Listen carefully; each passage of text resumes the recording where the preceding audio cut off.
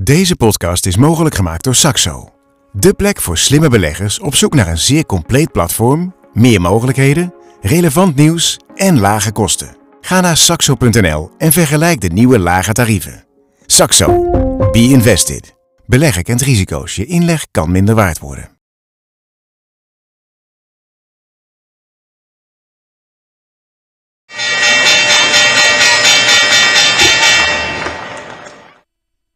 Welkom, leuk dat je kijkt naar de podcast van de aandeelhouder. Het is vandaag donderdag 18 juli. De beurs eh, beetje, vertoont een beetje nukken, gaat wat eh, omhoog en omlaag, links en rechts, met rotatie.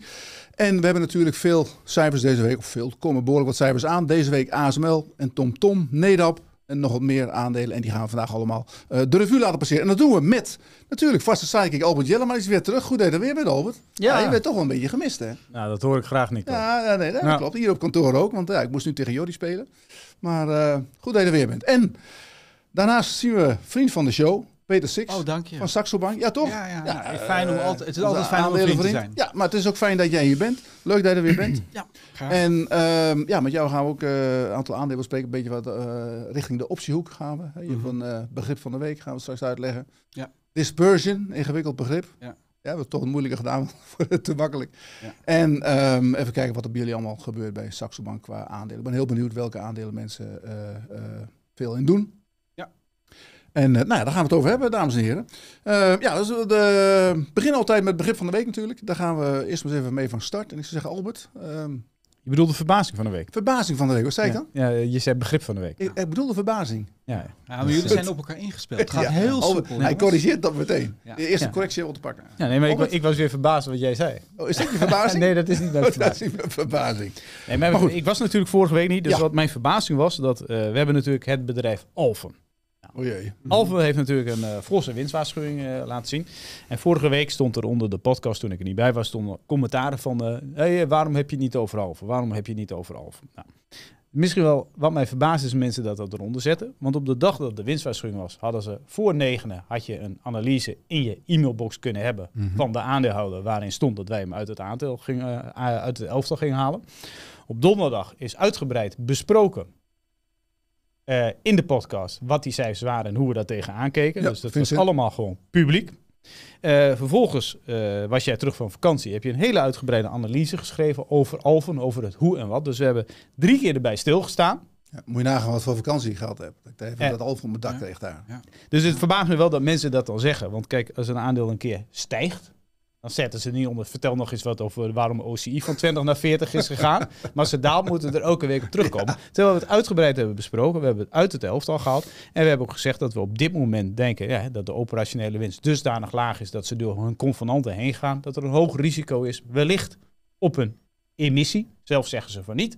Maar als je naar de cijfers kijkt, kun je niet aan die mening onttrekken dat daar een gerede kans op is. Dus wij staan aan de zijlijn. We hebben verkocht op 21 of 20,5 destijds op opening voor ons elftal. Dus dat wil ik toch een keer aangeven. Als je ons structureel volgt, dan had je dat allemaal gehad. En als je af en toe een keer luistert, ja, we kunnen niet alles elke keer bespreken. Nee, we hebben het ook voor de, voor de leden wel uit- uitgebreid besproken. hè. Ook in de Dus- chatsessies komt dan Maar daar wilde ik dus, eh, eh, toch even een maar keer mensen willen toch wel even... Ik heb natuurlijk een tip die eh, niet heel goed heeft uitgepakt. Ja, maar daar hebben we drie En, keer eh, op, eh, we- drie keer, dat ik er even op terugkom. hebben we drie keer heel lang over gehad. Ja, gaan we het nou niet meer over hebben. Dus. Toch? We hebben het vandaag nog over gehad in de chatsessie. Maar goed, dat is eh laatste nieuws. Nou goed, eh, waarvan akte? Peter? Jij nog even verbaas je nergens over tegenwoordig? Nou, het was ook al een van de onderwerpen waar je mee kwam, maar het was mijn verbazing al. ja? Dat was eigenlijk het goed liggen, terwijl de stijging van de Amerikaanse small en mid caps, Mhm. Russell 2000, hè, pakt er in vijf dagen eh 11% Ja. bij. En dat is gewoon veel. Ook omdat ze eigenlijk al een hele tijd slecht li- liggen of niet bewegen. En ik denk dat er twee redenen zijn. Enerzijds een hint op een renteverlaging van Powell. Positief, hè, want die kleine Amerikaanse bedrijven zijn gewoon heel rentegevoelig. Dat is één.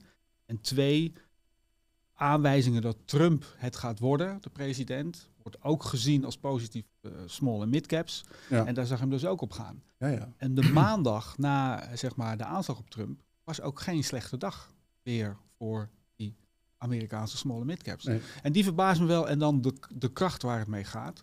En ik denk dat daar op zich nog wel wat ruimte in het vat. Ja, het ging ongelooflijk hard. Hè? Het ging zelfs op een dag eh 4% omhoog zo, voor een index. Ja, Nee, dat is veel. 2000 aandeel, dat is echt Ja. bizar eigenlijk. Maar ja, Oh, als, je dan, als je dan weer kijkt naar die market cap. En dat is 2,7 trillion. Ja. En dat is dus minder dan Nvidia. Ja. Dan heb je het over 2000 bedrijven versus één bedrijf. Dus hè, er, gebeurt, er gebeurt daar genoeg en die maken het eh, wel interessant. Ja, maar ja, dus Jente, die eh, is, eh, jongen die ook bij ons werkt, die, die stuurde ook net een, een dingetje terug over de rotatie, over de sectoren, de subsectoren. Tussen wat nu bovenaan stond en onderaan. En dat is inderdaad eventjes omgeklapt, hè? Ja. De, de- de- dat verhaal. Alleen, het is natuurlijk nog steeds het geval, want, want iedereen heeft het over de grote rotatie of zulke zaken. En dat kan nog verder gaan. Alleen, ja, misschien is ook nog wel de reden. Misschien is het net even een keer een tikje te hard gegaan met al die tech-dingen. Dat mensen denken, nou, wordt is gewoon tijd voor een klein switchje. Er is toch ook niet heel veel af als je kijkt naar Nvidia, Ja, ja. hoe hard dat gestegen is. Ik, wil- de, de aandelen stijgen met 100, 150 procent en dan zakt het Ja. 5 procent of 10. Ja. Maar hetzelfde, hè, de, eh, ja, we komen straks op dat aandeel, maar eh, de eerste kwartaalcijfers van ASML die vielen, verkeer, vielen verkeerd. Dus de eerste hè, heb ik er nu Ja, over. ja. Stond het aandeel stond op 800. Sindsdien is er eigenlijk niets gebeurd en we stonden op 1000. Ja. Dus oftewel, er is geen nieuws geweest wat Nee. positief was. Er is niet gezegd, Nee, we hebben mega je veel hebt orders. Jeffrey's rapport waarin hij eh, Ja, nee, gezegd zou alle hebben dat andere- TSMC bij het kruisje heeft getekend. Ja, Maar nee, maar er zijn kwad hoger. Ja. Eh, zonder, zonder Nee, duidelijke maar het is natuurlijk wel, wel vervelend voor ASML. Die komen gewoon met goede cijfers eigenlijk. En In het tweede kwartaal bedoel je? Ja. ja, Ja. ja. hè, waar, ze, waar ze gisteren mee kwamen, waren eigenlijk goed. En Ja. dan zie je dat het andere bericht, hè, dat Amerika waarschijnlijk aan gaat scherpen qua, qua eh, restricties richting China. Ja. En daar gaan ze op onderuit. Maar dan gaan ze voor ASML, dat is natuurlijk best fors, hè, 11% lager. Ja, nou, eh, maar de, de, de- ja, we, hè, we hebben onze tech-expert Jordi Beuving, dus die ga ik dan altijd kopiëren. Dat is makkelijk, dat hoef je zelf niet uit te zoeken. Want die zei, eh, de, de verwachtingen voor het derde kwartaal lagen beneden de consensus. Dat was dan het andere wat er speelde. En dat had natuurlijk dat Trump ook schijnbaar nog wel iets had gezegd over dat Taiwan, waarom zouden we dat beschermen? Maar ze moeten wel betalen. Dat, dan eh, willen we ze wel doen. betalen, dan willen we wel wat Ja. gaan doen. Ja. Eh, maar dat was natuurlijk die, die, die, denk ik, die combinatie van, de, van, de, ja, van, van die verschillende onderdelen. eh, wat het aandeel eh lager zet. En waar ik mijzelf ook wel, hè, als je er dan naar kijkt van wat ze dan in H2 nog moeten gaan doen, nu, of Q- in Q4 moeten gaan doen, vierde kwartaal moeten gaan doen, nu we het derde kwartaal weten. Nou, als je het hebt over back-end loaded, dit is zeker zwaar back-end loaded. Wat, be- Ehm, wat betekent de back-end loader ook alweer? Dan moet je even twee afleveringen terugkijken. Hebben we dat als begrip van de week uitgelegd. Dat betekent, we denken wel dat het goed komt. We denken wel dat het eind van het jaar het goed komt. We hebben heel veel bedrijven zeiden dat, maar dat is ook zo. En, en, en eh, eh, er zit natuurlijk veel, veel, veel eh, hoop in die cijfers nog. Niet zozeer bij ASML, bij veel bedrijven. Dan zeggen ze, ja oké, dat is nu rustig aan. Maar tweede helft, Mhm. je moet het beter worden. Maar daar zijn we nu bijna. En je ziet bij veel bedrijven, Sliegel bijvoorbeeld, daar komen zo nog even op. Die Ja. zeggen nu van, nou, we zien, het, we zien het dit jaar niet meer verbeteren. Ja, maar het is ook als je teruggaat naar ASML nog even. Van als jij dan ziet van nou, die doelstelling vorig, volgend jaar is natuurlijk eh, de hoogste kant van die bandbreedte is 40 miljard. Ja, Wat er omzet moet komen. Eh, er komt er nog een beleggersdag in november, dus dan verwacht Ja. iedereen eigenlijk nog wel meer. Dus ik denk eigenlijk dat de meeste beleggers voor volgend jaar al zeker denken dat het 40 miljard gaat worden. Ja. Maar als je dan nu het orderboek ziet, dan denk je van nou, er moeten nog wel wat ordertjes worden gevonden om die 40 miljard eventjes te ver- verhogen. Ja. En eh, dat is wel het, eh, het eh, wat je hebt, nou, we hadden, wij zaten nog even te hoeren van, nou, ASML vroeger was het altijd dan 25 keer de voorwaartse Mhm. winst, dus 25 Mhm. keer 2025. Ja, daar komen we er nu niet mee, dus we moeten nu, nou, laten we dan maar 30 ervan maken. Ja, en dan, dan, dan, dan kom je nog steeds niet tot een screaming buy. Het, het, het is het mooiste, ja, bedrijf, van, nou het is het mooiste bedrijf van Nederland. Het is fantastisch gemanaged. Het is ongelooflijk wat die lui aan techniek Mhm. hebben. Alleen, ja, alles heeft op een gegeven moment ook een prijs. En als die prijs 1000 is of 800, alleen alle koersdoelen van 13, 14, 1500 op een termijn nu van 12 maanden. Hè? Want dat dat uiteindelijk over drie, vier jaar daarheen kan, dat geloof ik graag. Maar op die korte termijn Ja. Heb ik zoiets van, ja, dat, dat, dat zie ik niet. Dus maar, ja. We hadden hier een weddenschap over de order intake. Van, eh, je dacht van tevoren, hoe gaat die precies eh, uitpakken? Want, eh, iemand, degene die eronder zat, die was dat wel erg laag. Die had zich vergist tussen miljoen en miljard. Maar de, moest een papiertje leveren. Stond op 6,2 miljoen. Hij zat er nog bijna het dichtst bij. ook. Maar die, die, die order intake, Albert, is toch 5,7 miljard. Ja, iedereen kijkt, kijkt van tevoren naar de order intake. Ja. En, en dan is het bekend en dan gaat het eigenlijk nergens meer over. Nee. Zegt ze die order intake. Ja, Ja, ja, maar ik keek nu in één keer naar de derde kwartaalverwachtingen en met die twee elementen uit. Amerika, Ja. daar keek ik me naar. Misschien nog wel één element wat ik bij ASML heb en ik wil niet eh, discriminerend of iets dergelijks overkomen. Maar die gast, die CEO is nu. Fransoos. Mhm. Bouquet. Eh, yes, uh, we have very good uh, order intake. eh, en als je, dan, als, je, als je die vragen, als je die, hoe die die beantwoordt en zo. Dan denk ik van, poeh, is toch wel even een stapje terug ten opzichte van winning qua communicatie. Ja, ja, ja. Dat is wel dat ik denk van ja, het voelt een beetje, ja, die man zal hartstikke slim en fantastisch en briljant zijn. Alleen om dat te zeggen dat het communicatief ijzersterk is. Misschien dat een eh, CEO-wissel kan natuurlijk wel wat invloed hebben. Want ik bedoel, ben ik ken hem al heel lang. Hij is echt een boekhouder. Ja. Ehm, Ja, maar het- is ook het gezicht van ASML geweest. Dit is voor mij iets meer technische jongen. Hij begon in zijn, in zijn, eh, zijn videootje. Ze doen altijd van die video's hè, van Mhm. tevoren met die Leo de Later. Die heb je niet kent van RTL 4. Ja. Die krijgt dan, zeg maar, moet zeg maar vragen oplezen. En dan gaat Wenning of die andere Dassen, die gaat dat beantwoorden. En deze, die heeft natuurlijk zijn eigen stijl. Dus die ging zelf voor de camera vertellen. Eh, maar die ging ook heel erg in op technische details. Hoe die EV-machines dan ja, niet helemaal in elkaar zaten. Maar nee. Wat meer dan, dan die Wenning heeft daar natuurlijk geen verstand van, bij spreken. maar, hij was, maar het is toch wel zo'n... Maar wat dat betreft had het een Duitser kunnen zijn. Ja, nou ja, Want maar ik kan me voorstellen dat die mensen toch denken van nou, hij is, hij is wat, wat tekenen. onduidelijk, hij is wat te technisch, eh, Ja. ik weet het niet. Nee, maar ik wel ken de- die, die, die vooropgenomen video, die is prima te volgen. Die heeft ook ondertiteling trouwens. Maar, maar die, die is goed te volgen. Want dat, dan heeft hij gewoon gestudeerd op de tekst die hij Ja. gaat zeggen. Ja, ja, Maar ja. In een Q&A, dan is het van, eh, ja, hoe zit dit en dit? En dan moet je spontaan gaan praten. En ja, dan is, dan is het toch dat ik denk van, nou ja, dus een beetje nou, hoe wij ook Engels tegen elkaar praten. Maar dat is soms lastig te volgen. Wie daar heel slecht in is, is die gast van Alphen. Die is echt heel slecht. die is wel in meer dingen slecht. Oh man, man, man. Dat is echt die... die Die Ja. kan ook niet zo goed eh, budgetteren voor het jaar wat eruit komt. Die heeft geen goede glazen bol. Nee. Een bol moet anders. We hebben het toch weer over Alphen. Moeten we niet doen. En dat doe jij? Ehm, Jouw verbazing, Nico. Even, nee, ik heb nooit een verbazing. Ja, ik Oh, verbaas me over zoveel dingen, dat, dat is niet, relevant. Maar ik heb wel een vraag aan jou, want ik, ik, ik ben wel benieuwd. Want ASML is natuurlijk een van de, de aandelen, denk ik, waar heel veel in, in gehandeld wordt. In, in, Mhm. Ook in belegd wordt, neem ik aan. Lange termijn beleggers. ASML, fantastisch aandeel.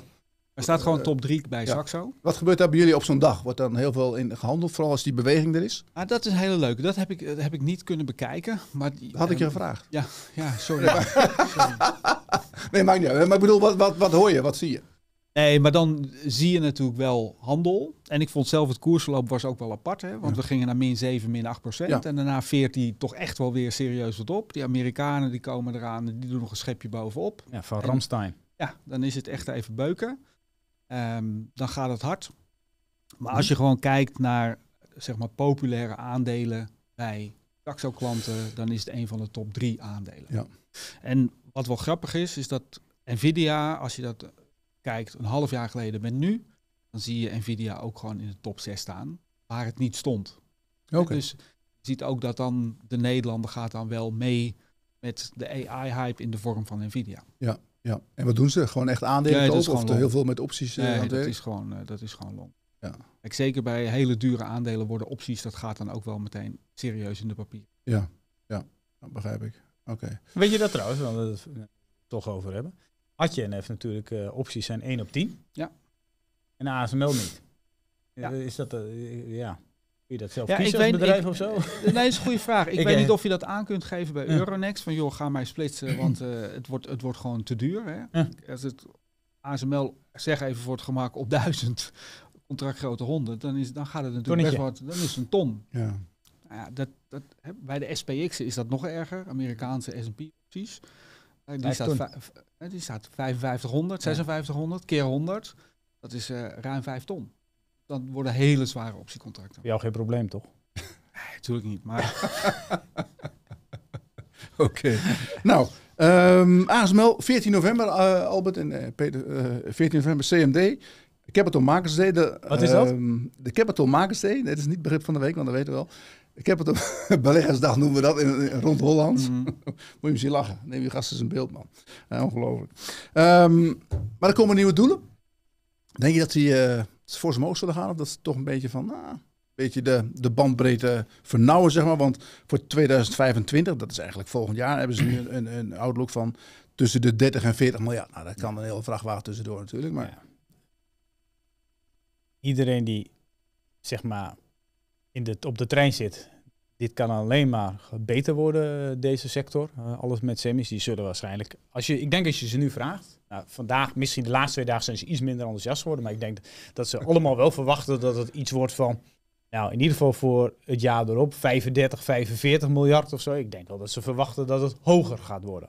Waarschijnlijk 35 à 42 of zoiets. Ja, ik denk dat ze... eh, ja. Kijk, meestal doe je ook een beleggersdag omdat je de, iets beter verwacht dan wat je hier hebt staan. Ja. Hè, om nou te zeggen van je doet een beleggersdag en dan zeg je nou, we hadden 40, we doen 30. Ja, dat is natuurlijk... Nee, dat, gaat zal- hem niet dat- worden. Dan doe je meestal geen beleggersdag. Nee, ah, misschien bij Olfen, maar niet bij uh, ASML.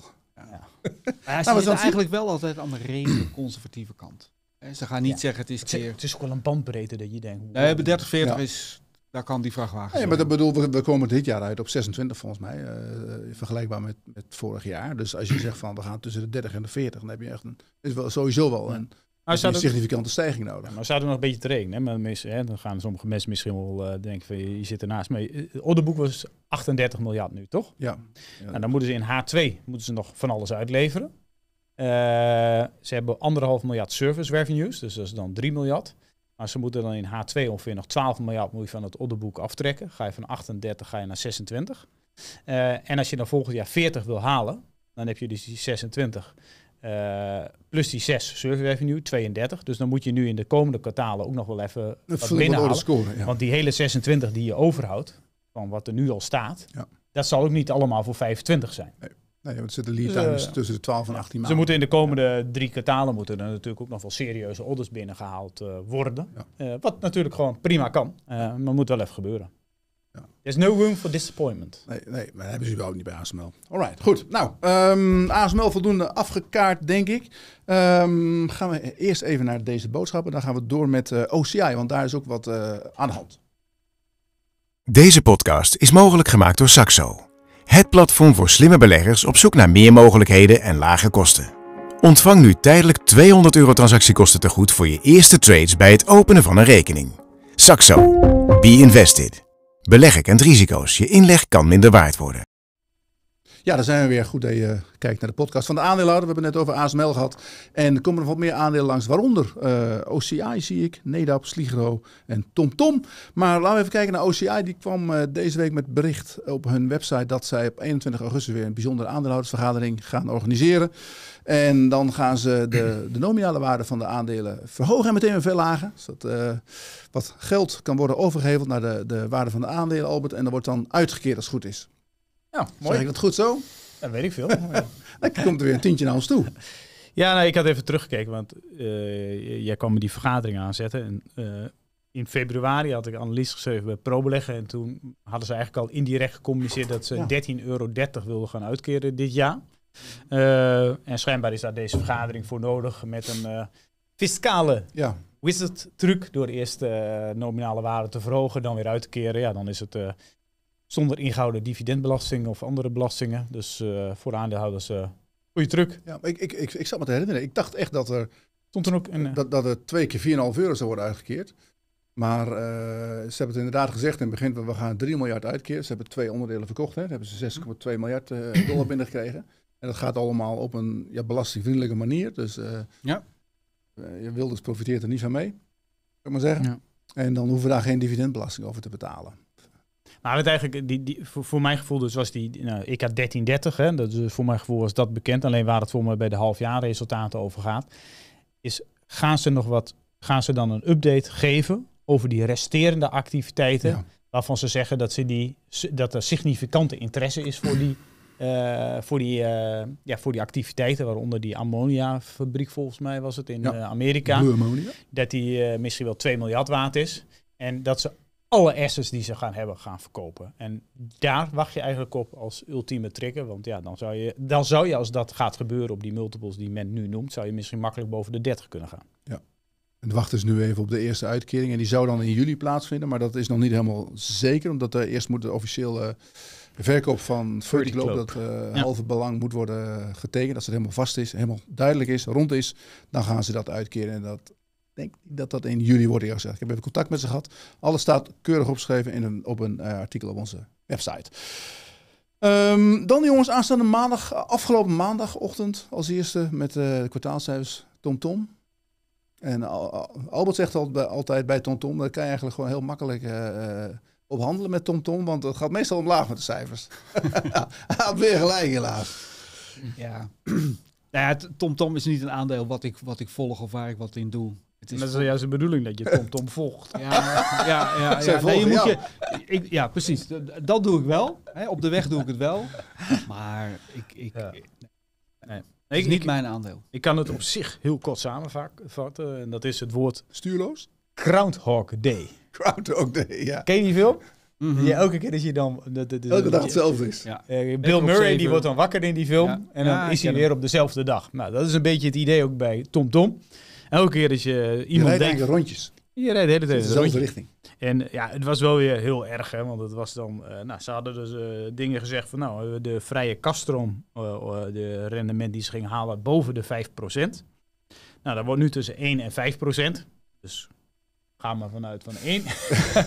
I- iets lager. en eh, ze hebben hun 2025, eh, ja, voor uitblik, hebben ze ingetrokken. Ja, dan zie je twee analisten dan, eh, UBS eh, en bijvoorbeeld Oddo, die zitten allemaal nog op 10 op 11 euro. Ja, dat, dat, dat ga je alleen zien, denk ik, Ja. als het er een keer afgaat. Maar ja, Ja. dat is het de afgelopen 10 jaar ook niet gegaan. Dus daarom dit aandeel eh, kopen is eh, denk ik een dom idee. Eh, ja, er zit 2 euro nog wat cash in natuurlijk. Hè? Dus eh, er blijft Mhm. maar eh, iets van 3 euro over voor het aandeeltje zelf. Of inmiddels minder, want er staat onder de 5. Dus 2,50 of zo blijft er over. Ja, dat is natuurlijk niks voor de, de, de... Als je puur kijkt naar wat er allemaal geïnvesteerd is in die kaartendatabase... Mhm. dan, dan is het een fooi. Dus als jij een soort asset-based waardering zou doen... eh, en ik denk altijd van, goh, waarom is er nou nooit zo'n grote tech-onderneming... Die gewoon zegt van jou, Die en denkt heb van, ik nou, al die kaarten. Ik heb nog geen kaarten. Ja. Dit kost mij misschien wel, wel, wel 4, 5 miljard eh, plus om dit te maken. Ja, dat moet Microsoft zijn, want daar hebben ze... Eh, dan dan koop ik toch dat, hutje, Ja. zou je denken.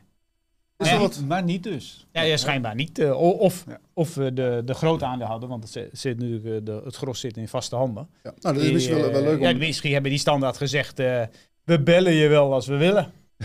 ja, weet ik veel. Er is wel wat raars aan de hand. Ik, heb, ik ben er deze week even ingedoken. En eh zij kopen af en toe eigen aandelen in. Hè. Voor 50 miljoen hebben ze nou twee keer gedaan. Mhm. En eh, nou, eigen aandelen inkopen doe je natuurlijk op de markt. Maar er zijn ook, ook bedrijven die eigen aandelen inkopen. Die hebben dan een aantal grote aandeelhouders. En die doen dan soms mee. Bijvoorbeeld Mital, die heeft dan eh, 40% van wat ze inkochten, kochten ze in bij de familie Mital. Zodat die hun belang op eh, peil houdt. Nou, wat, was hier aan de hand? TomTom Tom heeft eh, eind vorig jaar gecommuniceerd dat ze een, een STL eh, zouden openen. Een eh, Second Trading Line. En daarmee gaven ze grote aandeelhouders eh, boven de 5% de kans om mee te doen met dat aandeleninkoopprogramma. En nu is achteraf gebleken dat van die, van die 50 miljoen, is 38 miljoen is aangeleverd door die grote aandeelhouders. Maar we weten niet wie dat zijn. En dat kunnen dus alleen maar zijn of de vier oprichters, maar hun belang is hetzelfde gebleven. Of John de Mol, die zit boven de 5. Of onze vrienden van Teslin, die zit ook boven de 5. Maar ik heb nog geen melding gezien bij de AFM dat een van die partijen lager zit. Ze Zet moet ergens daar vandaan komen. zet ik mijn geld op Tesla. Ja? Ja. Die hebben wel wat geld nodig, denk ik. Denk je dat?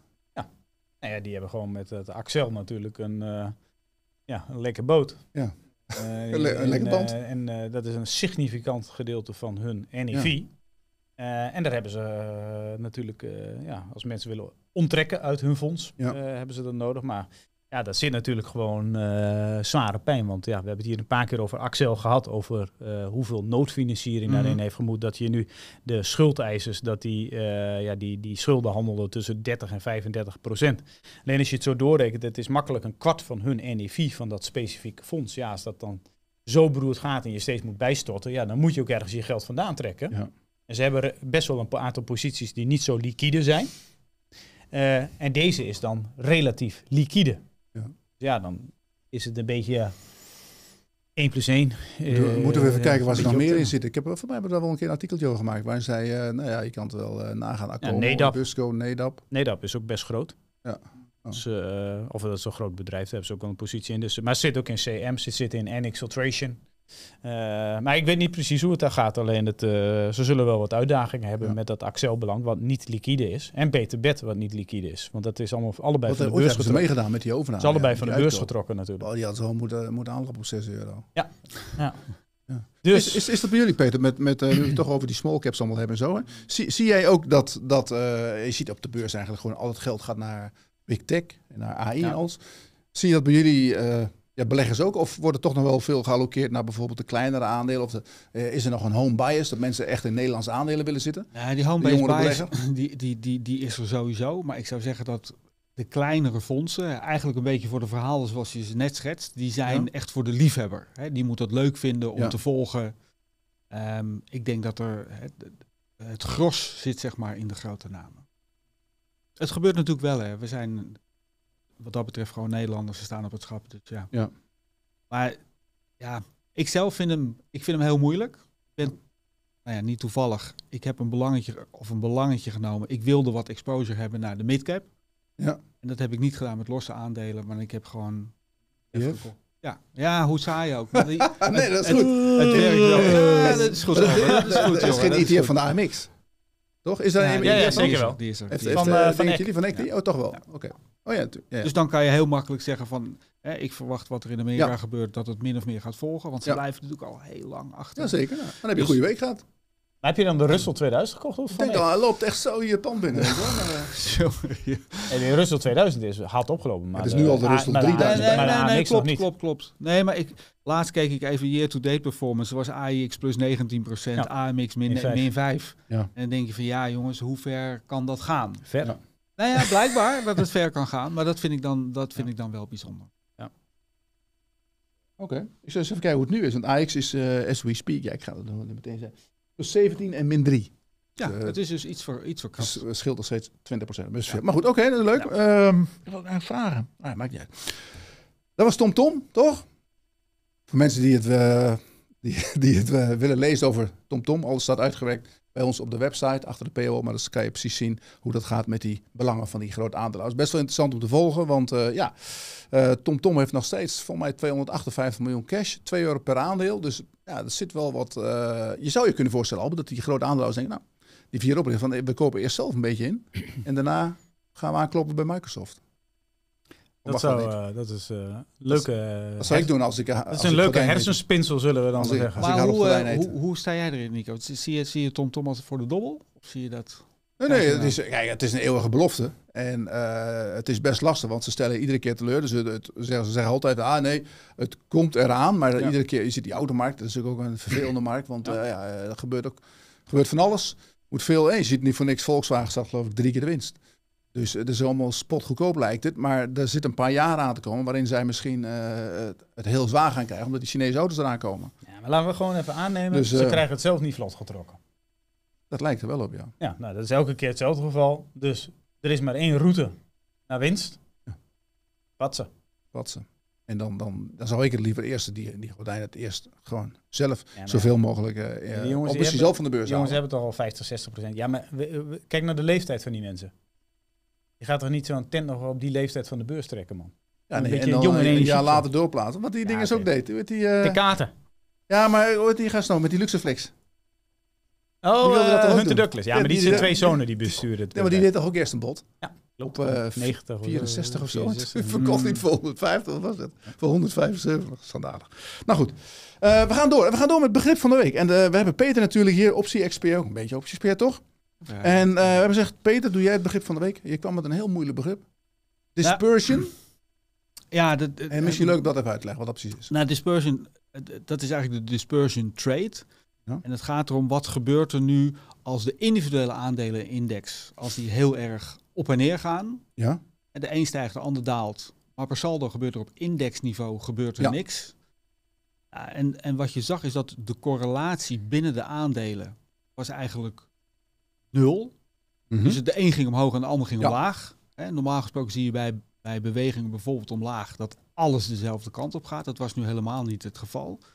Relatief hoge vola in de in, volatility in de individuele aandelen. Ja. En laag in de VIX.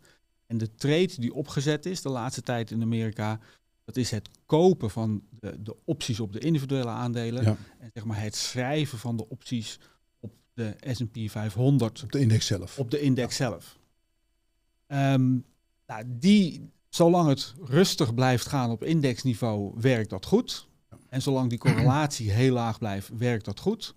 En de vraag is, wat gebeurt er met zo'n trade die groot opgezet is als je een beetje hè, storm in een glas water gaat krijgen. Ja. Als daar gewoon wat gaat gebeuren.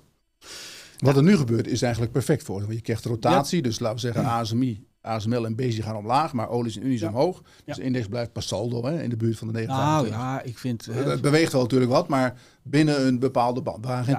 10% omlaag. Nee, maar wel 4%. Ja. Dus dat is, dat is dan best wel fors. Maar dit gaat met name over de Amerikaanse markt. Ehm, tegelijkertijd, als je het vanuit particulier beleggersperspectief bekijkt, dan zou ik persoonlijk eerder kijken naar de andere kant van de trade. Hè, want je kunt zeggen, de, de, de, de bescherming om die te kopen in de index is heel goedkoop. Er staat al een mooie plus, ook in Amerika, hè, plus Ja. 16, plus 20 procent. Daar kun je misschien zeggen van, ik wil dat toch wel een beetje beschermen. Ik schrijf calls op mijn individuele aandelen en van de ontvangen premie koop ik bescherming die direct gaat werken als je op indexniveau naar beneden gaat. Ja. En je houdt dus opwaarts potentieel. Hè, want er zit in die individuele aandelen zit nog 6, 8 of 10 procent Mhm. opwaarts potentieel. Maar als die markt gaat dalen, dan heb ik bescherming die direct gaat werken. Ja. Maar dat is de, de spur trade. Ja. Alright. Nou, Heb je wat geleerd, Robert? Wist je niet, hè? Ja, nee, ik was hem halverwege kwijt. Eh, ik hoorde allemaal dingen als... Gewoon eh, ik hoorde allemaal dingen als fola, correlatie, fix, tussen dat en zus Ja. en zo. Dus Ja. ik... eh, Nee, maar maar zeg moet je- maar- misschien moet je even in een mooi artikeltje voor ons gaan schrijven. Kun je even op papier zetten? kun je op papier zetten. Kun je het rustig nalezen. trade. Ja. Nee, De maar dispersion trade. Dat is eigenlijk wat de partijen vroeger op de. ik weet ze nu- Ik weet niet of ze het nu nog doen, maar wij deden dat vroeger op de vloer eigenlijk ook Mm. op de beurs. Dus je, je, je ging in de indexpremie short en in de fondsen long. En dan hoop je dat, de- de, de index blijft liggen. Ja. Binnen, mag best een procentje omhoog of omlaag, maar niet al te gek. en de fondsen die, eh, vooral met de cijfers natuurlijk eh, fantastisch, want dan gaan eh, plus 5%, min 5% had je Ja. makkelijk. Had je ook wel, wel nodig in de fondsen om, om het, de premie die je investeerde goed te maken. Maar ja, dat werkt in principe goed, vooral in, en met name in rustige tijden. Want dan pak je gewoon je geld op de index. Hè. Als het dan hard op en neer ging, dan zei je van nou, we verdienen dat in de handel terug. Maar vooral als het, als het ja, in de zomers, wat van die, van die zomers meegemaakt, vroeger dat er niks te doen was op de, de vloer. Ze een spreekwoord voor, hè? Vrouwen bloot handeldood. Heb je dat wel eens gehoord al? Nee, nog nooit. Mag je Ik nou weet niet niet of dat zeggen. nog mag. Nee, mag je nou niet Nee, zeggen. nee, je precies. Dus je hebt het ook niet gezegd. Zul je mij niet horen zeggen. Nee. Nee, daarom ken ik het ook niet. Nee, daarom. daarom. Dus, eh, maar goed, dat, dat is een beetje wat, eh, wat aan de hand is. En, en zie jij veel wat, wat particulier doen? Want eh, in Amerika is die optiehandel volgens mij best wel eh, Ja, er zijn beetje- veel weer- qua niveau. weer losgeslagen. Nou, dus, ja, kijk, die, die optiehandel Amerika is gewoon honderd keer zo groot aan Europa. Dat, over dat soort grootheden heb je het gewoon. Ja. Ehm, daar gaan, gaan 40, 50 miljoen opties per dag om. Ja. Dus dat is gewoon heel veel. En 50% daarvan dat gebeurt op de ETF's. Nou, dat kennen we hier eigenlijk in Europa helemaal niet. En daar, Opties op ETF's? Ja. Oké. dat is 50% van de omzet. 50, jezus. Ja, zo groot is het. Ja. Maar dat zijn natuurlijk ook de, de SPY en de QQQ. Ja, Hè? De- ja, ja, dus oké, ja. Die zitten daar ook bij. Maar ook gewoon een aantal sector-ETF's die groot zijn. Ja, semis. Precies. Dat, en dat is eigenlijk is dat super interessant. Ja. En dat zou wat mij betreft voor de Europese beurzen ook nog een weg zijn om in te gaan. Van kijk daar eens naar. Kunnen wij iets doen met Europees erkende hè, indices om daar, ETF's, Ja. om daar zeg maar opties op te doen? Nou, we hebben wel de Eurostox 50, maar dat is voor de particulier net te ver weg. Opties of ETF. Ik zit te denken, bij bijvoorbeeld Nederland, wij hebben bijvoorbeeld opties op de AX. Wordt dan gehedged de future. Maar dat, dat, is eigenlijk, dat kan ook op een, dat kan dus ook in plaats van de future kun je dus een, een ETF Nou, hebben. dat, dat is wel iets waar mensen dan rekening mee moeten houden. Als je iets gaat doen met opties op de SPY, dat is fysieke settlement, want de onderliggende waarde is gewoon de SPY, de ETF. Ja. Het wordt dus niet cash gesetteld. Je krijgt daar- eh, al die 500 Ja, ja, aandelen ja, ja, ja. eh, in je achtertuin. Je krijgt. ETF. Precies. Je krijgt gewoon de ETF. Ja, ja. Dus dat, dat is wel iets om rekening mee te houden. Het, het- dat is het, denk ik, voor veel mensen een voordeel van indexopties. Worden gewoon cash gesetteld aan het einde. Maar dit wordt fysiek gesetteld. Dus als je aan call short Dan zit, krijg je gewoon echt... zul je gewoon die Het werkt als een soort aandeel. Als Ja. het daar, dus gewoon op een Precies. aandeel eigenlijk. Ja, maar het is wel mooi. Hè? Kijk, stel je voor, eh, je zou eh, eh, de Defensie-ETF Ja. in Europa. Nou, die heeft het fantastisch natuurlijk gedaan. Ja. Er is enorm veel geld naartoe gegaan. Stel je voor, je denkt, nou, het is wel een keer genoeg geweest. En dan zou je daar dan put-optie op kunnen kopen. Dat je specifiek dat segment van de markt Ja, speelt. Precies. Ja. Ik denk dat als je dat goed in de educatie aan mensen gaat uitleggen dat dat bestaat, ETF's, of opties op ETF's, dan zou dat best wel kunnen aanslaan. Omdat je gewoon, nou, bijvoorbeeld hè, Ja. duurzame consumptiegoederen, nou, je ziet Burberry, je ziet heel veel van die bedrijven het slecht doen. Ja, Ja, daar zou luxe je heeft het zwaar. Ja, luxe heeft het zwaar. Ja. Dus dan kun je op zulke soort trends veel makkelijker inspelen met opties. Maak je dat bereikbaar voor eh, de grote optie? optie Nou ja, de- eh, kijk, en dat daar in ieder geval in Amerika een markt voor is. Het is natuurlijk niet voor niks dat 50% van de Ja. optieomzet komt uit de grote. Ja. Dus ik, ik, ben daar fan van. Nou, En- Gaan we hier ook regelen. No worries. Gaan we Oké, nou, mooi. Goed, Albert, we moeten nog wat aandeeltjes, aandeeltjes lang. Sligro, heb je nog Ja. gekeken, Sligro vandaag? Jazeker. Eh, ja, we, we gaan te weinig naar het restaurant, denk ik. Want eh, dat komt niet meer goed dit jaar, zeggen ze. nee, dat eh, was best... Misschien zijn ze wel te veel dicht. Gewoon door personeelstekort. De We restaurant, kunnen, ja. we kunnen geen zes dagen meer open, Nee. want dan hebben we het personeel niet voor, dus we doen er drie. Ga je nou wel eens uit eten of niet? Jawel. Je, je vriendin? Je hebt een vriendin, toch? Ja, Nico. Nee, maar ga je wel eens leuk. Ja, ja, ja. Nee, tuurlijk. Ik probeer een persoonlijke noot in te Ja, ja, nee. Dat, Zie je dat, niet glunderen? dat- dat- Ja, ja, ja, hij woont net weer samen, toch? Niet? Chill, Dat- eh, heeft hij wel goed getimed. Net na het EK. Briljant eigenlijk. Briljant. Ja, jongens, Briljant. het is echt ongelooflijk. Oh, maar- maar- Maar als, eh, je, je zegt de restaurants, die hebben, die hebben echt eh Nee, maar die- personeelstekort. Ja, die hebben, ze, ze ze kunnen, ze willen wel zes dagen open, maar het lukt ze gewoon niet. Nee, nee. Dat zou misschien ook nog wel een Ja, reden nee. kunnen zijn waarom het gewoon Ja. minder goed gaat dan dat je zou willen. We moeten ze laten bezorgen. Maar ja, het is ook natuurlijk, mensen hebben misschien opgegeven ook wel eens een keer het geld een beetje op. Hè? Ja. Dus eh, ja, Slecht of, weer of natuurlijk. je gaat samen wonen en gaat het huis niet meer uit. Dat kan ook. dus dan ga je niet meer naar het restaurant. Dus dat zou ook nog kunnen. Zouden mensen zijn die is dat wel gaan de doen? vraag. Het geld is op. Is, Ja. is, is dat zo? Nou ja, ik, ik was vorige week in Oostenrijk. En eh nou, ik kom vaak op dezelfde plek. En eh, de boekingen die zij nu hebben voor de zomer, eh, die zijn dramatisch slecht. Dat is het slechtste wat ze in tien jaar hebben gezien qua perce- percentage. Gingen we even met de familie, eh, wij komen er wel vaker, dan gingen we raften. hè, in zo'n bootje, blub, blub, blub. Ja, ja. Hartstikke leuk. En eh, ik ken die gozer inmiddels, eh, Jonas, die is de eigenaar van het raftingbedrijf, die zegt, het is echt dramatisch tot nu toe dit seizoen. Hij zegt, lijkt wel dat er niemand eh, meer geld heeft om even een rondje te gaan raften. Ja, het kost ook best wel wat. Hè? Dus dan even een rondje raften, 50 Ja. euro de neus. Eh, alleen, de- kijk, is N is één, maar je ziet ook doorkomen dat Burberry, dat niemand meer Ja. die spulletjes aan het kopen is. En zo zie je de ene na de winstwaarschuwing komen, dat mensen dus ja, schijnbaar even wat minder aan het spenden zijn. Eh, dus ja, eh, bij zo'n Sligro, ja, ik kan niet uitsluiten dat mensen gewoon denken van ja, het biefstukje wat eerst, eh, nou gaan we, naar- de loetje-inflatie, ja, dat is ook nog krimflatie. Je betaalt Ja, je meer krijgt een voor kleinere biefstuk. een kleinere biefstuk voor meer geld. Ja. Dus dat loetje, eh, ik ben er ook klaar mee, want de kwaliteit van de verschillende winkel, eh, van de verschillende restaurants is ook nog een enorme verschil tussen. Eh, maar ja, dat zie je natuurlijk wel bij zo'n bij zo'n Sligro. En dan zeggen ze eigenlijk, ze zeiden letterlijk, we do not see any improvement. En dan zit je op een net debt EBITDA, kom je nu uit voor dit jaar op 3,4. Nou, dat is ook niet eh, Nee. weinig. Ehm, en als je ook zag Q1 versus het eerste kwartaal versus het tweede kwartaal. eh, dat het tweede kwartaal eigenlijk een verslechtering was als je de omzetcijfers naast elkaar ging leggen van het eerste kwartaal en het tweede kwartaal. Kan ook te maken hebben met EK voetbal, hè, dat we allemaal thuis zitten. Ja, slecht weer ook en dan een beetje Veel- je regen. bestellen. Veel- Hè, dat idee. Zo, want Ik daar zie je het wel in terug. Ja. Dus, oh ja, Daar zie je het wel in terug, Albert. Dus dat hè? zou goed nieuws zijn. Ja, want dat bestellen ze ook niet meer. Nou, Maar, Ja. ik bedoel, eh, ja, heb ze niet gezien met TK. Ze hebben het Just die gewoon- takeaway. ze hebben gewoon wel reclame met de voetbal, of niet? ja, maar doen ze alleen de hebben- UEFA. hè? Ze zeggen alleen maar Chinese reclame. Heb je dat ook gezien? Ja, ja, ja. Een Chinese bedrijf. BYD, heel groot. BYD, Build Your Dreams. Ja, nee, klopt. Ja. Ja. Eh, heb je al gekeken allemaal voetbal? Of ben je ze voetbal? Nee, ik, ben, ik heb veel Ja? gekeken, ja. Af en toe met een beetje schaamte, maar af en Ja? toe ook wel... Begint toch goed? Vond je dat, dat, Nou, dat, die Fransen met schaamte. vond je dat links-rechts niks? Ja, ik vond het Nederlands elftal, die hebben een paar wedstrijden gespeeld. Echt denk van jongens, dat kan niet Ja. waar zijn. Tegelijkertijd herstellen ze dat dan ook weer de wedstrijd daarna. Ja, we zaten wel bij de laatste drie. Laatste drie. Er waren er nog drie over op een gegeven moment. ja, wij moeten soms wedstrijden spelen natuurlijk. Maar toch, nee, maar ze hebben toch, nee, op papier zijn ze ver gekomen. Ja, op papier zijn ze In weer de gekomen. praktijk was het een drama. Maar ze hadden natuurlijk wel eh, met het hoekje waar ze terechtkwamen, met het Oh, schema, man. dat zat wel een beetje mee. zeg Zo'n loting Eh, krijgen ja. we nooit weer. Ja. Echt. Eens, ze zaten aan de makkelijke kant. Ja. En dat, Oh, ja. maar goed, maar maakt niet uit. Ehm, we hadden het eigenlijk over. Sligro. Sligero, precies. Maar goed, de, wat moeten we ermee, Albert? Holt? On Holt? Dat is wel een mooi bedrijf, hè? We moeten, waar moeten we mee? We moeten er helemaal niks mee. Nee. Eh, we hebben het erover gehad. En, eh. Ik heb geen positie. Dus, ja, Afgekaart, Sligero. ga er ook niet in. Gaan we door. We hebben nog een bedrijf en eh, dat is wel een bijzonder, bijzonder eh, fenomeen. Nedap komt nog met een soort winstwaarschuwing achter iets. Ja. Maar eh, de koers die deed niks. Nee, nou ja, ze, ze hadden, waren al een klein beetje mee- meegezakt. Alleen, ja, NEDAP is een extreem illiquide aandeel, ondanks dat het een behoorlijke Mhm. market cap heeft. Eh, iedereen die erin zit, die knuffelt met elkaar. Ja. Eh, het lijkt wel één grote, één grote groep die die, die, die, die koers Secte. beschermt. Secte. En eh, die zijn allemaal dol enthousiast. Want ja, het was op zich best wel bijzonder. Want het eerste kwartaal hadden zij ook omzetcijfers waren min 6%. En dan zijn nu de omzetcijfers over de eerste helft van het jaar zijn min 8%. Wat kunnen we daaruit concluderen, heren? Dat het tweede kwartaal slechter was dan het eerste kwartaal. Min 10. Huh?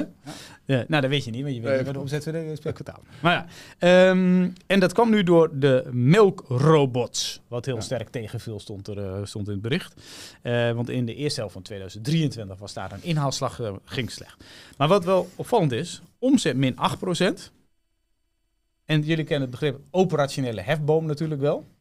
Als de omzet min 8% is, goh, wat zou je dan gevoelsmatig denken? De operationele winst, hoe ver daalt dat We dan? zeggen min 16. 16? Voor jou, dus het is een beetje hoog vaste kosten in dit geval waarschijnlijk. Mm. Zou jij goed Nou, dan ga ik wat hoger dan, eh, dan Nico, zeg ik. eh, Ik zou zeggen, ik zou veel hoger gaan. 25. Het is 34. Ja. Zo, min 8% in omzet, min 34% op het bedrijfsresultaat, dus eh, 10,6 miljoen euro. Dus als je dan de marge 10,6 op 124 miljoen euro omzet, nou ja, dat is eh, veel eh, meer. Maar ze houden toch hun doelstelling op 15% operationele winstmarge. Eh, maar ze denken wel dat er wat vertraging gaat optreden in die marge. Nou, kan me op zich met deze cijfers Ja. wat bij voorstellen. Ehm enige wat heel positief was, was dat de wederkerende omzet, van gek op als beleggers, dat die Ja. eh, naar 39% was gegroeid van het totaal. Ja. Dus dat is wel heel En dat positief. komt van? Ja, dat ze waarschijnlijk serviceabonnementen... Nee, nee, nee, dat, maar van die 39, dat kwam van welk percentage? van af? 30. Ja, dat is natuurlijk Dus dat is wel hartstikke positief natuurlijk. Het is wel een Eh, mooi bedrijf, hè? Een mooi bedrijf. Het is, eh, het is een schitterend innovatief. bedrijf. En, en eh, ze, ze ze- ze Nee, maar iets met- recurring- de kosten, zo, met de investeringen. Hoe was Ja, dat ook nee. alweer? Nou ja, wat heel mooi is, kijk, eh, je hebt heel veel bedrijven die, die investeren heel veel en die kapitaliseren dan hun kosten. Hè? Mhm. Ehm, maar zij stoppen bijna voor mij 20% van hun omzet, investeren ze in innovatie. Maar dat gaat elk jaar direct door de P&L. Dus ja, die 15% margedoelstelling kun je morgen halen. Want als je van 20 naar 10 Ja, ja, gaat, hè, dan, dan ben je er al. Dus ze kunnen daar lekker mee spelen. Eh, dus dat is absoluut waar. Dus het is ook een heel mooi bedrijf hoor. Alleen eh, andere bedrijven die niet zo groot in vaste handen zouden zijn, die zouden wel een tikkie hadden Die omlaag zouden zijn vandaag gezakt. min, min 10, dan min deze. 15 gaan. Ja. Dat is een beetje TKH-achtig iets. Hè? Van, eh, ze hebben ook, voor mij hebben ze hier ook, ik weet niet hoeveel afdelingen, divisies. Ja. En eh, ik zeg dan altijd van, er is altijd wel eentje die goed loopt. En Albert zegt meestal, er is altijd wel eentje die niet zo goed loopt. Maar nog even op die, die, hè, die recurring income. Ja. Dat, dat is natuurlijk ook gewoon meer waard. Ja, tuurlijk. Nee, maar dus het is in die Ja. zin, ga- als je van 30 naar 39 Ja. gaat, dat is, dat, dat is echt wel wat waard. Ja. Ja. En als dat de beweging is die je ingezet hebt. Even cynisch, de omzet ging min 8%. Dus zijn we van 30 naar 39 gegaan. En is de recurring Ja, absolute getal hetzelfde gebleven, maar is gewoon dat anders. Dat, dat is, ook- is ook een beetje, hè, want Dan er, stijgt het ook automatisch. Maar Ja, dat is even cynisch. er valt een stukje omzet weg van die melkrobots. Nou, dat is vaak eenmalig. hè. Ja. Ik bedoel, eh, die boeren kopen zo'n robot en dan eh, over 15 jaar weer. En eh, waarschijnlijk is het een andere tak dan, waar ze bijvoorbeeld met die winkels, dat ze daar... eh, Nog geen, geen eh, abonnementjes? Ik weet niet of zij abon... Nee, voor mij, ja, we hebben ze allemaal livestock. Ze, hebben, ze doen eh, En die, eh, voor die, die- kleding die- in die winkels en zo. tekst eh, voor die winkels. Ik weet niet hoe ze dat gaan verkopen. Of ze- dat Ja. soort... Maar goed, niet uit. Ja, maar het is, het is, kijk, eh, het is gewoon een heel mooi bedrijf wat compleet onder de radar is. Alleen het is, het is ook best wel groot. Alleen het is illiquide. Eh, en, eh, en er zitten heel veel aandelen in vaste handen. Eh, en, en ja, die zijn allemaal crazy in love met dit aandeel.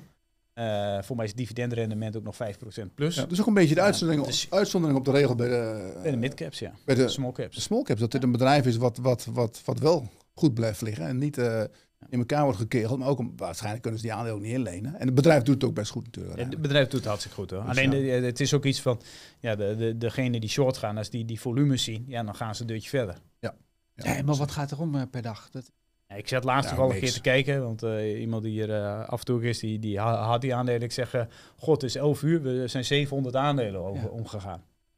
Precies. Eh, Dat schiet niet op. Goed, next. Flow Traders. Flow Traders mocht, die had een mooie opdracht gekregen van de Duitse regering. Zou het mee te maken hebben dat die, die CEO een Duitser is, dat ze dat mochten doen? Die mochten voor de Duitse regering de bitcoins, de resterende bitcoins verpatsen. Duitsland heeft een aantal bitcoins ge, geconfiskeerd, zeg maar. Van, eh, ik weet niet van wie, maar die hadden ze. Criminelen. Van criminelen neem ik. Die hebben ze verkocht. nou, En, maar dat, eh, dat had ook nog wel wat impact. Dat had wel wat impact. Met name van die, 65.000 naar 55.000 ja, waarschijnlijk hebben, ongeveer. hebben die Duitsers gedacht van, oh, we doen het nu zelf. Dat gaat niet Ja. helemaal goed. We gaan het maar Ja. even naar een professional.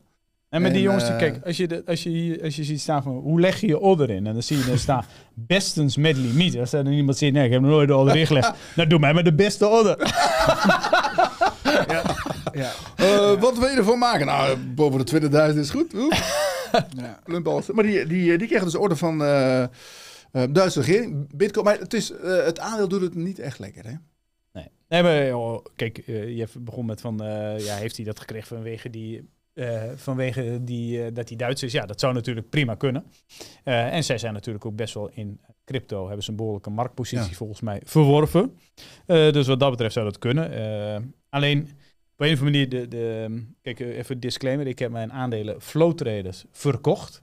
Ehm, dus ja, maar ik heb er wel wat anders voor teruggekocht. Hè? Dus dat heb ik netjes bij de mensen eh, bij eh ProBeleg ook gecommuniceerd. Want ik heb het idee dat het eerste kwartaal was super bij flow traders. Ja.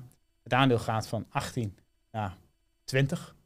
Ja. En dan is iedereen er alweer klaar mee. Ze krijgen geen enkele credibility. Hm. En ehm, ik heb zelf sterk het idee dat je aandelen flow traden als de stress in de markt schiet, zeg maar. En de, de bewegelijkheid neemt structureel toe. Ja, dan is het echt niet zo dat we gelijk op 25 staan. Je, je hebt vaak nog wel de tijd om dan te kopen. Voor mijn gevoel. Dus ik had zoiets van, nou, ik heb nu een ander aandeel wat ik heel graag wil bijkopen. En ik was vol belegd. Ja. En eh, dus ik, heb, ik denk van ja, als we zo doorkabbelen, dan gaat Flow Traders, die, gaat, dat, die koers gaat gewoon niks doen. Dan moet er echt een keer heftige stress komen. En dan kun je er alsnog in. Dus eh, Nee, eens. Ik bedoel, Dat zo werd het natuurlijk nog wel een tijdje gepositioneerd, hè, als een soort hedge onder je portefeuille. Ja. Van, hè, koop dan wat flow, want als Ja. het slecht gaat met je portefeuille, gaat het goed met flow. Maar dat- dat is... heb ik dat, zelf ook gezegd. ja, Dus, maar, maar ja, het is, ja, maar de is- beurs doet het is niks, gewoon. hè? Nee, maar ook afgezien daarvan, hè, Als er wel in de gebeurt. periodes dat er Ja. wel wat gebeurt, je ziet het gewoon niet terug in flow. Nee, nee. En die, die stellen gewoon in die zin stellen ze gewoon teleur. Wat wel Dus, goed eh, voor ze is, is wat er nu, die rotatie in de markt, daar, daar eh, profiteren zij wel van. Dat natuurlijk veel partijen ETF's heen en weer, heen en weer smijten. Hè. Alle tech ETF's eruit en dan gaan we van financials en weet ik wat allemaal kopen. Ja. Dus ik denk dat ze daar wel goed, eh, Ja. goed bij zijn. Maar dat is natuurlijk geen, geen extreem wilde handel. Zoals je bijvoorbeeld had in, de- in de eerste weken van corona. En met is ook bijvoorbeeld, hè, wat, maar dat is meer eh, eh,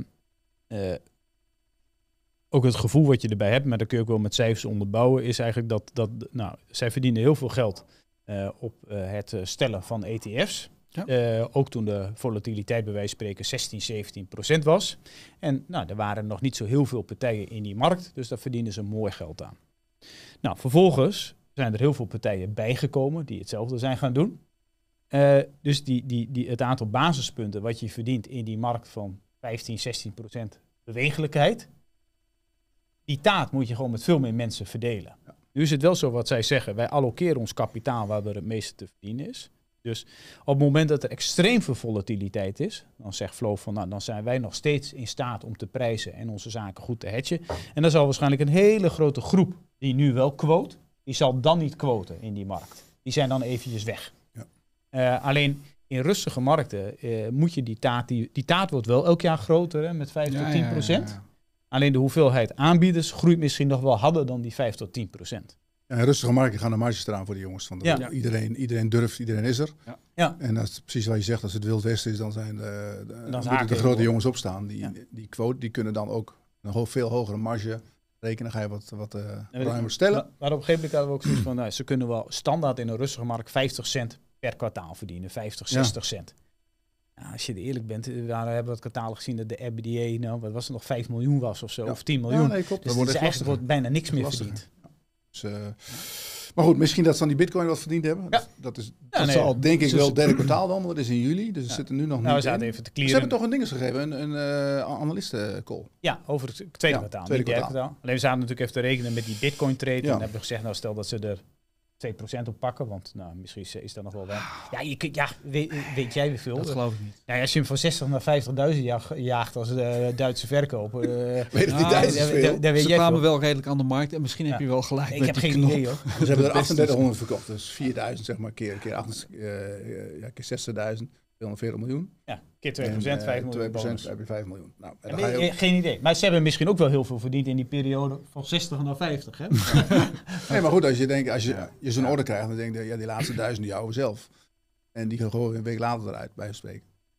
Ik denk niet dat, Dit eh, heb jij niet gezegd, eh, Nico. Dit heb jij niet ik gezegd. denk, ook, dat- ik denk ook niet dat je dat bij flow traders door de risk management afdeling krijgt. Nou, niet met duizend bitcoins, maar een paar zullen we toch al vasthouden. Dat Ja, doen ja. vaak met, eh, als je een grote opdracht krijgt. Is het ja, leuk om het laatste restantje even goed omlaag te zetten. Dan, eh, Ben je weet- omgegaan met een stukje? Misschien moet je gewoon stoppen met dit onderwerp. Uit de oude doos. Alrighty. Vopak moeten we hebben. Vopak hebben we nog niet behandeld. Eh, uitgebreid artikel op de website. Al best wel eh, leuk nieuws. Ik was, had eigenlijk een beetje... was goed dat je het zei al. was een beetje door mijn vingers geglipt. Maar vorige week kwamen ze met bericht dat ze een, een Indiase... hun Indiase joint venture... dat die op zoek was naar funding. En dat was gewoon een beetje een bericht tussen, tussen neus en lippen door. En Albert die werd al te lachen. Maar ehm, er stond een kort berichtje op de website van, van Vopak. Maar dat was op CNBC India. CNBC India. En ik zal die man niet Maar nahouden. dat volg je ook gewoon? CNBC. India. Nee, maar we kregen dat toevallig. eh, Ik weet niet hoe dat kwam. ik Maar kreeg het niet toevallig, ik volg zulke dingen. ja, eh, we kregen dat onder ogen. en da- daarin waren eh, twee analisten. En, en eh, die legden uit dat de joint venture die zij hebben opgezet. samen met een bedrijf Mhm. in India, Aegis. Eh, niet Egel, maar Aegis. En dat, dat, eh, eh, die zoeken een beursnotering in India. En dat moet dit jaar nog gebeuren. En dat zou dan ongeveer 4 miljard waard zijn. Ja. Nou, Albert die had natuurlijk spot on bovenop. Ja, Igis Volpak Terminals. Iets, we zien twee van die India's, de Albert en Nico van de India, zeg maar, die zaten dat een beetje aan het is bespreken. dat is- podcastje. als je daar even gaat googlen, Egis, Vopak, Terminal, CNBC, dan kun je het videootje Ja, zien. Dat is best wel... zelf zien. En dat is eh, hartstikke leuk, maar die leggen het eigenlijk best goed uit wat Die leggen het uitstekend uit. Dus, Alleen eh, als, als het klopt wat ze zeggen, dan staat Vopak op 50. Ja. Dus zo, zo simpel is het ook wel. ja. Want ze goed, het is wel, het is, het is Ja, want ze wilden wel op korte termijn. Hè? Ja, september, eh, alle papieren waren klaar. En, eh, dus, en, eh, nou ja, dat was een heel bullish verhaal. Want nou, je ziet dan ook die landkaart in eh het kun je ook in de presentatie van Investor Relations van Vopak zelf zien. Nou, zie je India, dan zie je waar ze die plek, strategische Mhm. plekken hebben. Nou, India groeisnoei had, dus er is nog veel Ja. meer opslagcapaciteit nodig. Vopak heeft een belang in Vopak Aegis Terminals of Aegis Vopak Terminals. En daar hebben ze zelf ook assets in ingebracht. Eh, maar ja, met een Indiaanse partij heb je waarschijnlijk meer kans op veel meer projecten Mhm. te winnen.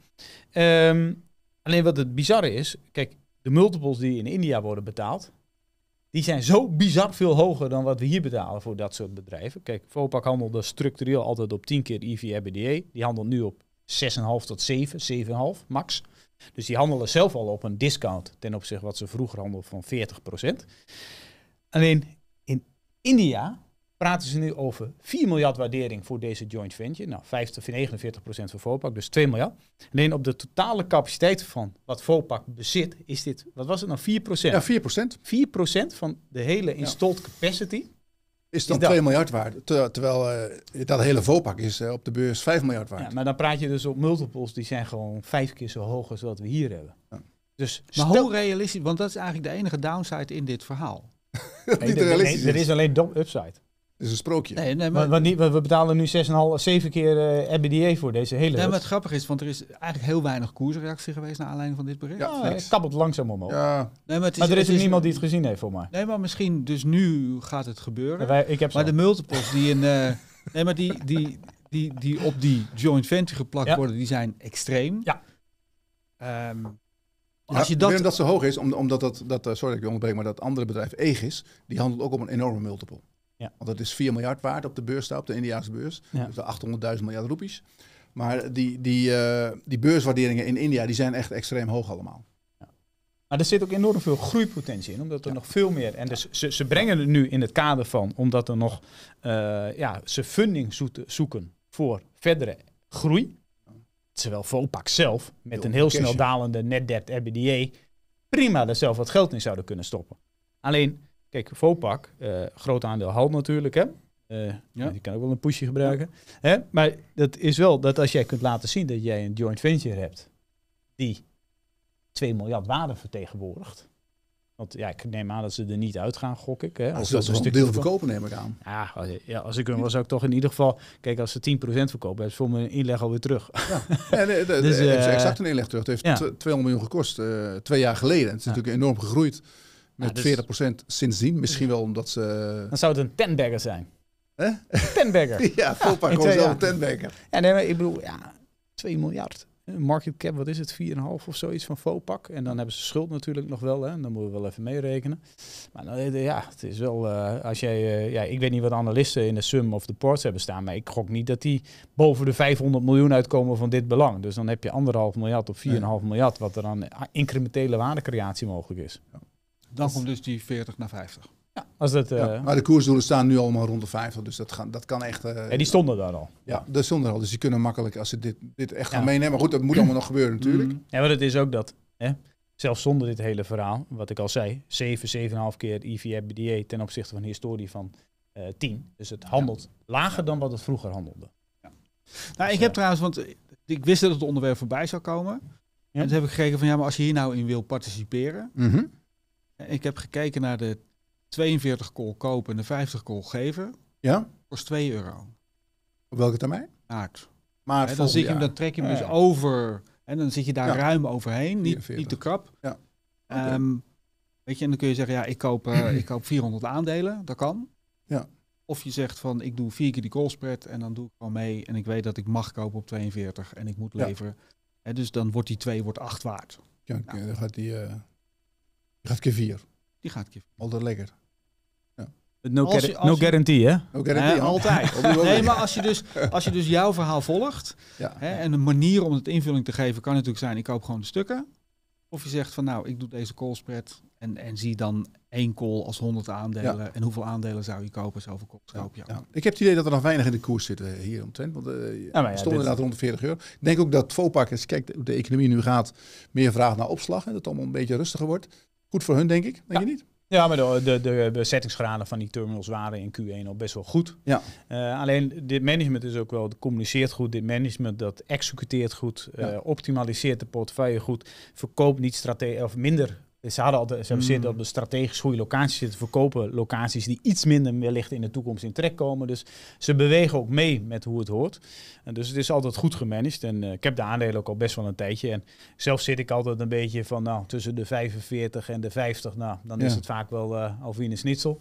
Eh, Ze zijn en- eigenlijk in een jaartijd wel verdubbeld. Hè? Want ze hebben toch even rond de 20 euro gestaan. ja, dat was toen met Oekraïne natuurlijk. ook En dat iedereen dacht die terminals worden leeggetrokken. Ja. Iedereen was in paniek. Ja.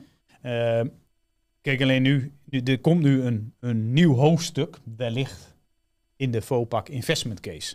En zou dat zichzelf ook echt eh, extreem stillen? Want eh, ze, wat wel Ja. mooi was, ze wilden natuurlijk ons stukje gelijk lezen. Ja, ja, we kregen een mail van, eh van Ja? Van, eh, Ja, ik ja. had een heel erg bij artikel over geschreven. Van, eh, heb je even een... eh, ja, moet je gewoon lid worden, gast.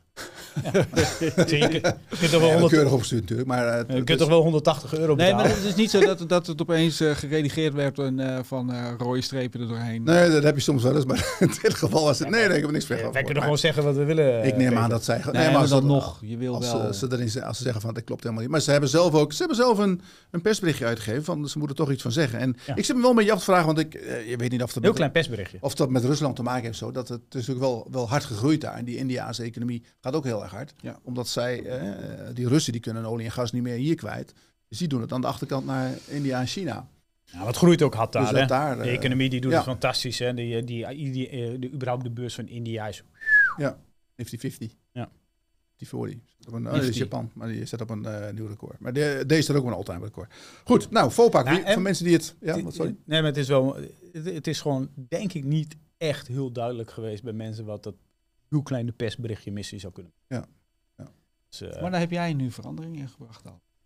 Ja, maar er is verder ook niks officieels naar buiten gekomen. Alleen die gasten van, van eh, India TV, die, hebben het, eh, eh, die hadden het erover. Ja, kijk, als- als, je kan, als je alleen een persberichtje had gehad, dan had je gedacht, ja, het zal wel. Ja. Eh, maar ja, door dat verhaal op CNBC van die lui in India, denk je, huh?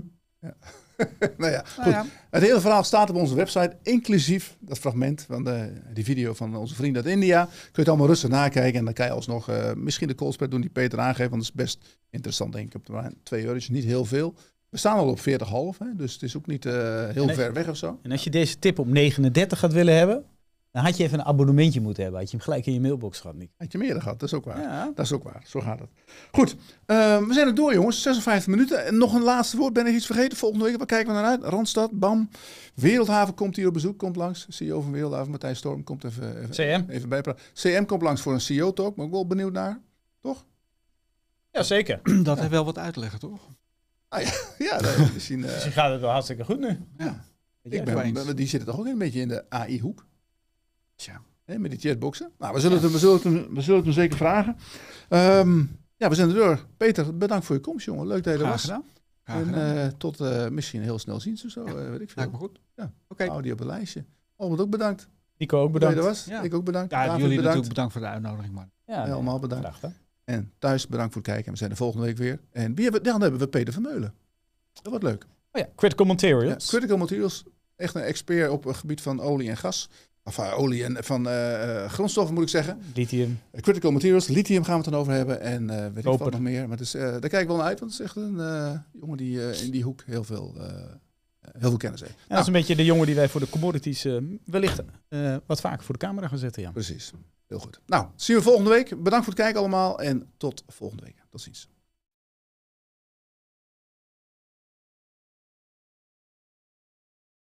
Deze podcast werd u aangeboden door Saxo. Het platform voor slimme beleggers op zoek naar meer mogelijkheden, relevant nieuws en lage kosten. Ga naar saxo.nl en verken het platform. Saxo. Be invested. Beleggen kent risico's. Je inleg kan minder waard worden.